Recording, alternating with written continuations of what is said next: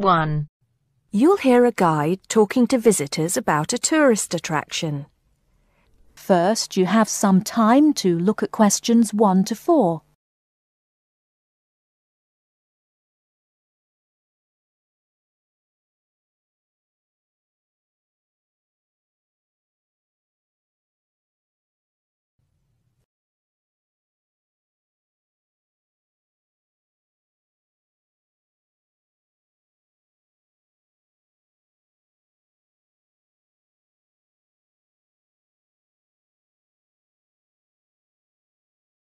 Now listen carefully. Good morning, everybody. Welcome to the Roman Baths. My name's Amanda, and I'm your guide for today. Before we begin the tour, I'd like to point out that we have child carriers, free of charge, of course, for those of you with young children, and I can see that there are one or two of you here this morning. It might make things a bit easier for you than using a pushchair. If you don't want to carry your coats and bags around with you, there is a cloakroom behind reception where they'll be quite safe. Also, should anyone want to use the bathroom, there's one here in the reception hall, opposite the ticket office, and another one by the shop where we end our tour, right by the exit. Having mentioned the shop, I should tell you that it's full of interesting things for you to remember your visit by posters, postcards, replicas of the Gorgon's head, the Haruspex stone, and the statues that you'll be seeing on your tour. There are also games, books, and videos for children, and other souvenirs. Our first stop will be the terrace, where you will get your first view of the baths.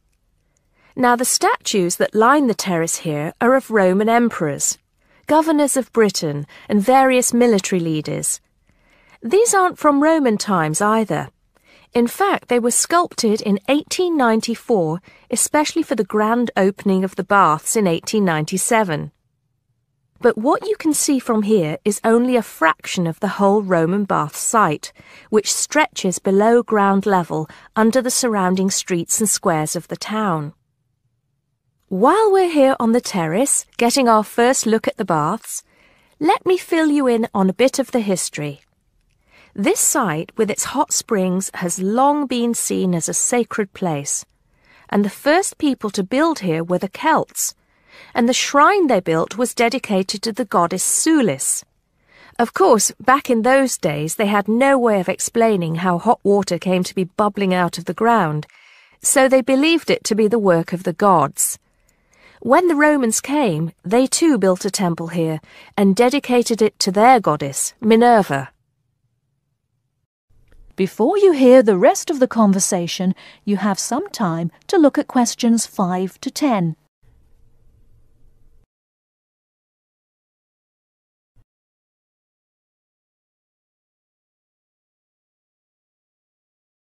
Now listen and answer questions 5 to 10. The bath you can see from here is called the Great Bath. Not very imaginative, I know, but it is the biggest. Impressive, isn't it? At one time it was housed in a huge vaulted hall 40 metres high, which for many people of the period must have been the largest building they'd ever seen in their lives. The bath itself is 1.6 metres deep ideal for bathing, and has steps leading down to the water on all sides. The niches or alcoves you can see all around the bath would have had benches and possibly small tables for drinks and snacks. Not a bad way to spend your free time, relax, and tell yourself it's all good for your health. Let's move on to our next stop, the Sacred Spring. This is the heart of the site where the hot water bubbles up from the ground at a temperature of 46 degrees centigrade. The water comes up from a depth of between roughly 2,500 and 4,500 metres, where geothermal energy raises the water temperature to between 64 degrees and 96 degrees. Over a million litres of this hot water rise up here every day, and as well as being hot, the water is rich in minerals, and it was thought it would cure various ailments and illnesses. In fact, people came here from all over the Roman Empire to try out its healing powers. Before we take a look at the changing rooms and saunas, which are known as the East Baths, and the plunge pools and heated rooms of the west part of the bathhouse, we'll pass through the site of the temple and the temple courtyard. Here we are. This temple is one of only two known classical Roman temples in Britain. The other is the Temple of Claudius at Colchester. This temple is said to date from the late 1st century AD, being built between 60 and 70 AD. But the original temple has been knocked about and added to over the centuries, and what you can see here are just bits of the original temple. OK, shall we move on? That is the end of part one. You now have half a minute to check your answers.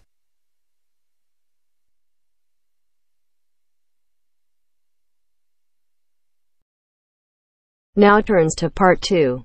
Part 2. You are going to hear a radio interview about giving up smoking. First, look at questions 11 to 13.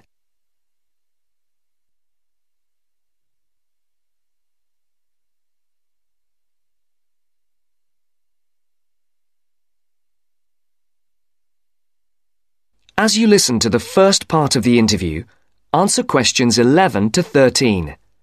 For these questions, there are four alternatives A, B, C, and D. Decide which alternative is the most suitable answer and circle the correct letter.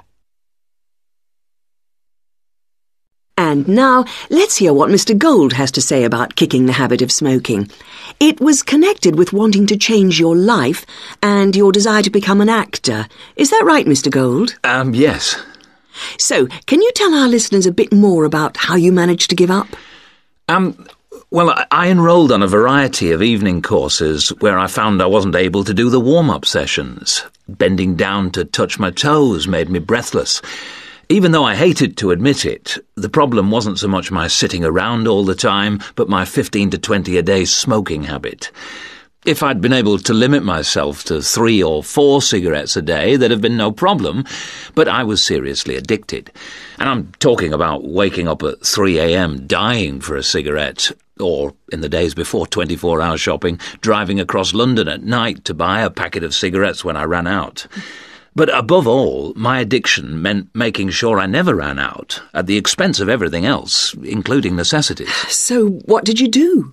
The thought of all my past attempts to give up just wouldn't go away. This was something that had constantly been on my mind, especially first thing in the morning with the chest pains, coughing fits, and headaches, not to mention the frequent colds and throat infections. But I couldn't imagine life without smoking. I also enjoyed my life, but the thing I longed for most was to escape the trap of a job I was bored with. I knew what I wanted, and I understood something else too. This time, I was going to keep my little plan a secret. Now look at questions 14 to 20.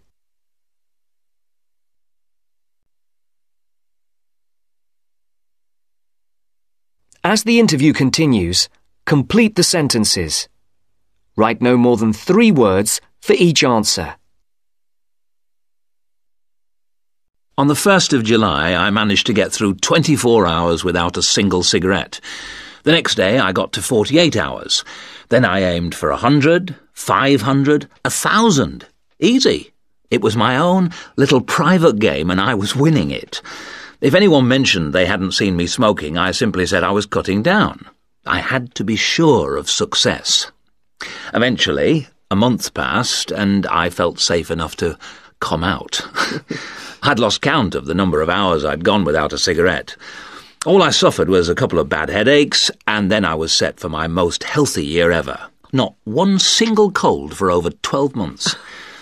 I now realise that the secret of my success was to look upon this as an exciting adventure, a way of helping me to become an actor. And because nobody knew what I was up to, I never once feared the accusation of having no willpower if I failed. With the right attitude, the whole thing turned out to be a lot easier than expected. I finally did get into much better physical shape, go to drama school, and become a professional actor. Very interesting indeed. I'm sure we all wish we had Mr. Gold's determination. Well, thank you very much, Mr. Gold. And I hope our listeners will learn from the experience you and our other guests have talked to us about today and perhaps find their own road to success. That is the end of part two. You now have half a minute to check your answers.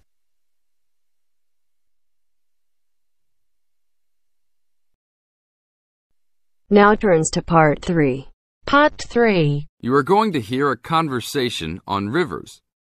First, you have some time to look at questions 21 to 25.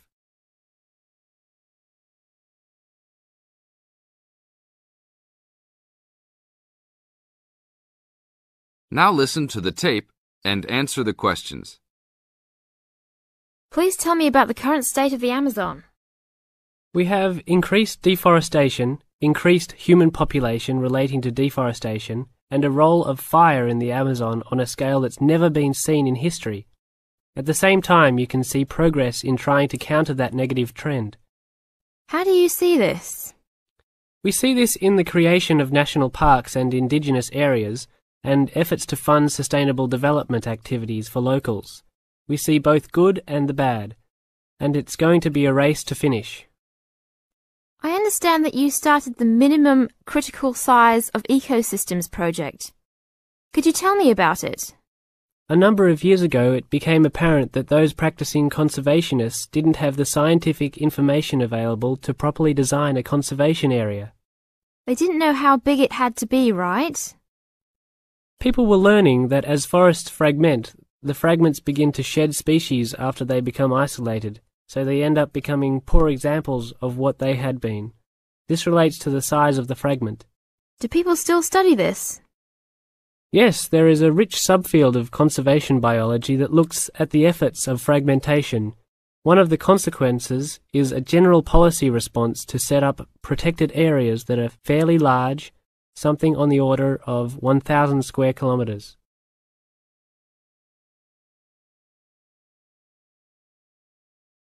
Now look at questions 26 to 30.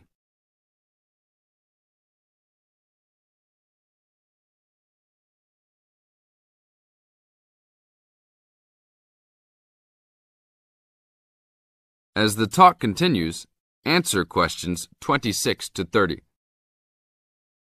Can you talk a little bit more about the forest fragmentation? As habitats are destroyed, they are accompanied by habitat fragmentation. So when 50% of a forest is lost, the remaining 50% being is not one large block, but smaller pieces, which makes the conservation problem even worse than saying that 50% has been lost. And this affects not just forest, but species diversity, correct? In terms of species loss, we can't give you precise numbers about how many species are lost because of these fragmented landscapes, but we're beginning to get close to where we can make that estimation. And so one of the policy responses to all of this, beyond just trying to create large protected areas, is to try and reconnect the fragments. You've been active in many projects studying the Amazon region over the years. Can you tell us about that process of understanding the Amazon? When people first started looking at conservation priorities, there was not much information about the geography of plant and animal species. One of the first clues was an analysis done in 1969. This looked at bird species and found geographic clusters of species which occurred nowhere else. And those are priority areas for conservation.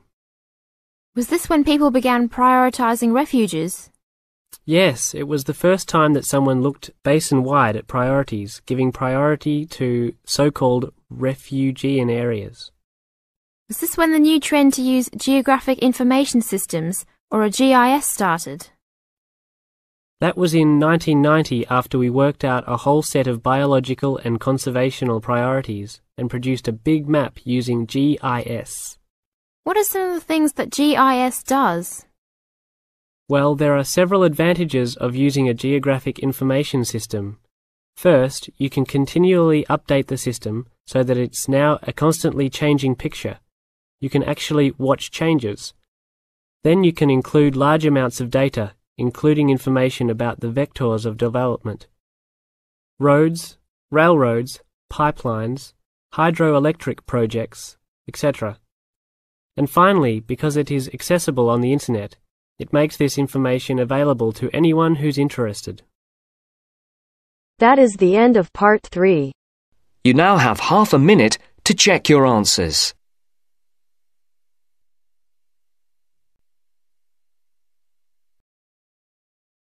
Now turns to part 4. Part 4. You will hear a lecture about sports. First, you have some time to look at questions 31 to 40.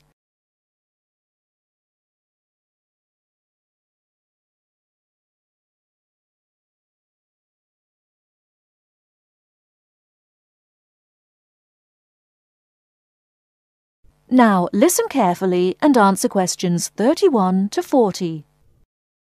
Not all people like to work, but everyone likes to play. As sports help people live happily, they help to keep people healthy and feeling good. When people are playing games, they move a lot. This is good for their health.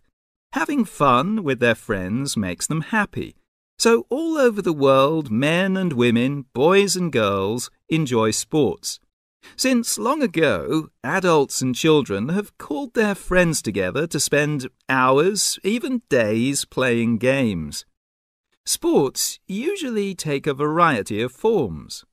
Organised competitions, which draw huge crowds to cheer their favourite team to victory, athletic games, played for recreation anywhere sufficient space is found, and hunting and fishing. Most sports are seasonal, so that what is happening in sports depends on the time of the year. As sports change with the season, People often do not play the same games in winter as in summer. If you want to know what others' favourite sports are, first of all, you should find where they live. Generally speaking, people in hot areas are fond of swimming, while people in cold places love skiing or skating. In this case, surfing is believed to be an important sport in Hawaii. The Pacific Ocean sends huge waves up on the beaches, waves that are just right for surfing. Some sports, including wrestling, boxing, horse racing, etc., are called spectator sports, as the number of spectators greatly exceeds the number of players in the game. Other sports are called participant sports, drawing a crowd of onlookers only on special occasions, such as tournaments. Some sports are commercial and professional, with players who are paid for their participation and with audiences who pay admission to watch. That is the end of part 4.